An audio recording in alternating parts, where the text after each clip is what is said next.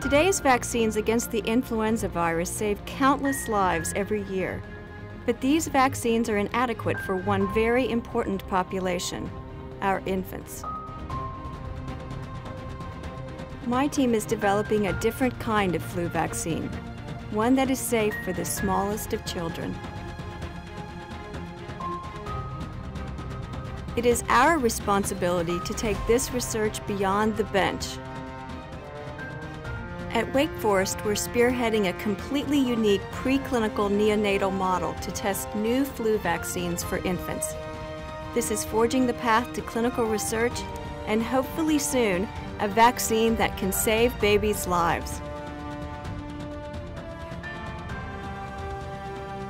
Open innovation means sharing my discoveries with an industry partner so that together we can make the largest impact on the tiniest of lives.